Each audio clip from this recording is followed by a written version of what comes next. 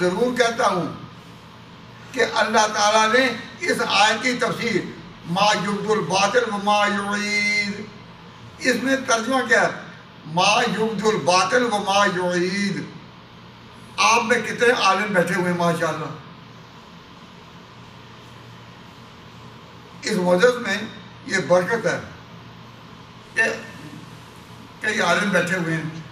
میں ترجمہ کرنے کی بجائے ان سے ترجمہ پوچھتا ہوں ما یبد الباطل ما یعید۔ یہ اس کا ترجمہ کرنا سن لو۔ ما یبد الباطل ما یعید۔ نہ نیا باطل پیدا ہوگا نہ پرانا آئے گا۔ ما یبد الباطل نہ نیا پیدا ہوگا۔ وہ ما کیا ترجمہ جی؟ یبد یبدو کا کیا معنی ہے؟ نہیں پیدا ہوگا۔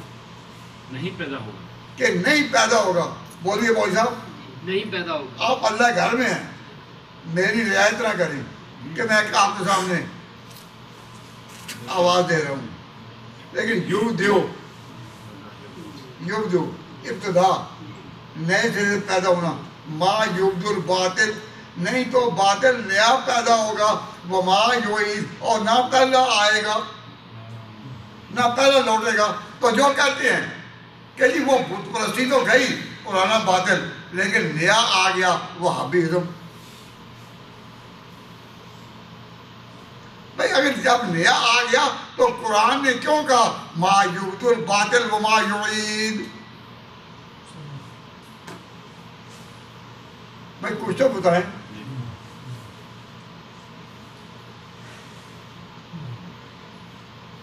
میں، ہم، میں کسی پر اعتراض نہیں کرتا نہ حملہ کرتا ہوں۔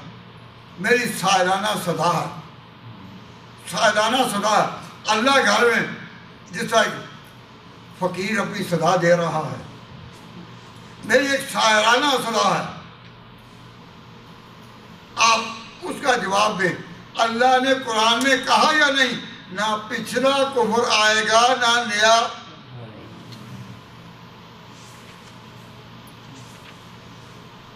ما یبد الباطل و ما یعید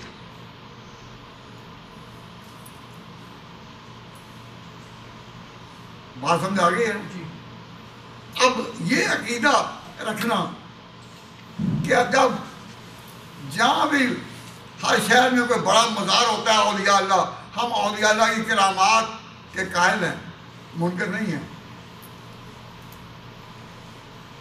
لیکن کیا وجہ؟ کہ ہر ولی کے ہاں تو شر کے میلے لگتے ہیں، سال میں عرس ہوتے ہیں، قبروں پر سیدھے کیے جاتے ہیں، عورتیں حاضری دیتی ہیں۔ مزاروں پہ جا جا کے نظریں چڑھائیں، مزاروں پہ جا جا کے نظریں چڑھائیں۔ کیا شرک کے میلے ہر جگہ لگے ہیں یا نہیں؟ اگر لگے ہیں تو وہ اللہ کا مکہ مکرمہ میں کوئی ایسی تمدن، کوئی سویلائزیشن کوئی نئی ثقافت، کوئی نئی ثقافت نہ تھی۔ لیکن اللہ تعالیٰ نے اس جگہ جب نبی پاک کو بھیجا، تو نبی پاک صلی اللہ علیہ وسلم کے داخل ہونے پر باطل وہاں سے گیا یا نہیں؟ اور پھر یہ آئے گا؟ نہیں۔ تمہاری اسٹینڈرڈ کیا ہے؟ پوری دنیا اسلام کے لیے اسٹینڈرڈ ہے مکہ اور مدینہ۔ مکہ اور مدینہ، یہ کیا مرکز؟ میں نے یہاں بڑے افسوس سے کہتا ہوں کہ غالباً چار دن ہوئے۔ چار دن ہوئے۔ قادیانی قادیانی لندن کی پارلیمنٹ میں، لندن کی پارلیمنٹ میں قادیانیوں نے پارلیمنٹ کو کہا کہ ہم؟ پارلیمنٹ میں اپنی بات پیش کرنا چاہتے ہیں۔ اور پارلیمنٹ میں ان کے قائد نے جوان جو پیغام دیا، یہ کتاب مفتی صاحب لے کر میرے پاس آ گئے اور کہنے لگے کہ یہ کتاب انہوں نے شائع کی ہے اور آج وہ مو- مولانا عبد البڑی صاحب نہیں آئے۔ آج وہ آئے مولانا نہیں آئے وہ وہ میرے پاس ہے۔ پھر اب لے گئے دیکھنے کے لیے۔ ورنہ میں آپ کو وہی دکھاتا اتنی موٹی کتاب ہے۔ اور پارلیمنٹ میں قادیانیوں کا سربراہ مرزا مسرور احمد، جو اپنے آپ کو غلام احمد کا پانچواں خلیفہ کہتا ہے، وہ پیغام اپنا پیش کر رہا ہے۔ وہ پیغام پیش کر رہا ہے۔ اور اس کے ساتھ انگریزوں کی ایک بڑی تعداد ہے، وہ سننے آئی۔ مسلمان نہیں، غیر مسلم جو انگریز ہیں وہ سن رہے ہیں اور یہ کھڑا ہے وہاں اور اس کے ساتھ تو پندرہ بیس قادیانی ہیں اور پیغام لے کر وہاں بھی پہنچ گیا۔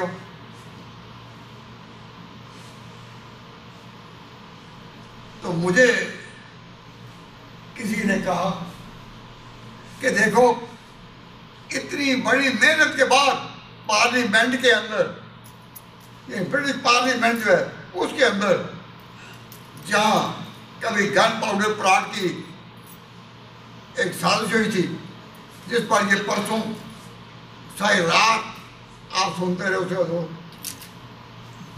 سنتے رہے یا نہیں؟ تو اس پارلیمنٹ میں یہ پہنچے۔ صاف معلوم ہوتا ہے کہ یہ پندرہ بیس سے زیادہ نہیں ہوں گے۔ سارا حال خالی۔ ادھر انگریز بیٹھے ہوئے ہیں۔ ان کا کام ہے کہ جو بھی آئے اپنا اپنا کام کرے، وہ ویلکم کرتے ہوئے اپنی بات کہو۔ بات کہنا اپنی اپنی مرضی۔ باقی کوئی مانے نہ مانے، اپنی بات ہے۔ انہوں نے ان کو موقع دیا ہے انہوں نے اپنی بات کہی۔ تو مجھے کسی نے کہا کہ اب اس کا جواب کیا ہے؟ میں نے کہا اس کا ایک جواب یہی ہے کہ مرکز دنیا کا اللہ نے بنایا۔ کعبہ ابراہیمی۔ مکہ اور مدینہ مکہ اور مدینہ میں قادیانیت نہیں آ سکی۔ ہمارا یہی جواب ہے۔ قادیانی اپنی کتنی بہار کیوں نہ دکھائیں؟ اپنے بڑے بڑے کینیڈا میں مرکز بتائیں ناروے میں بڑا مرکز لندن میں بڑا مرکز۔ لیکن بتائیے کہ ان کو مکہ مدینہ میں داخلہ نصیب ہوا؟ حضور صلی اللہ علیہ وسلم نے علامات بتائی تھی کہ مسیح بھی آئے گا قیامت سے پہلے، تو وہ مکہ میں داخل ہوگا حج کے لیے یا عمرہ کے لیے؟ آئے گا۔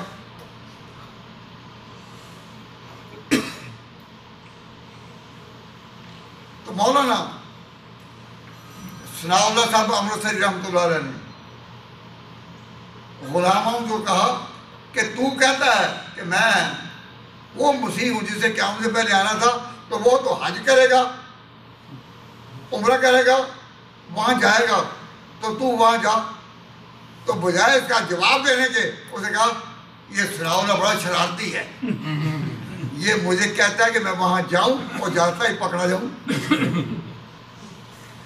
کون پتا اس کا بھی تھا کہ وہاں داخلہ نہیں ہو۔ تو اللہ کا گھر، جہاں حق و باطل باطل وہاں سے اس طرح گیا کہ نہ تو پرانا آئے گا نہ نیا پیدا ہوگا۔ یہ جو نیا پیدا ہوا وہاں جا سکا؟ جو نیا پیدا ہوا وہاں جا سکا؟ نہیں۔ اب قادیانیت کی تردید کے لیے اور اس پوری کتاب کی تردید کے لیے آپ کو کہیں بھئی آپ اٹھ کھڑے ہو تو کیا کہیں گے آپ؟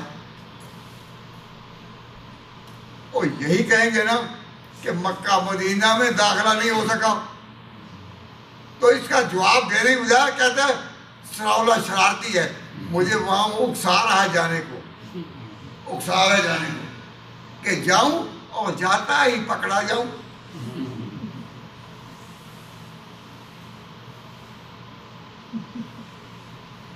بھائی، میں کسی پر اٹیک نہیں کر رہا۔